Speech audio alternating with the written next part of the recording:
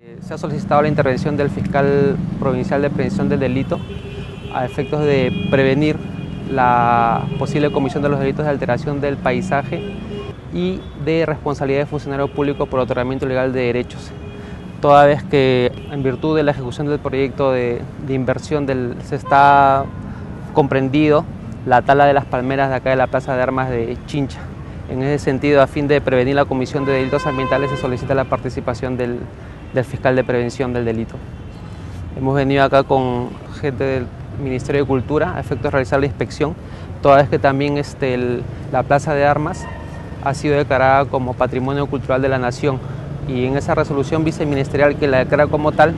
eh, se ha establecido en el artículo segundo que cualquier intervención a la plaza debe contar con una autorización previa del Ministerio de Cultura. En ese sentido, los, el personal del Ministerio de Cultura ha venido a verificar cómo se encuentra en este momento la plaza a efectos de que no se sigan realizando obras.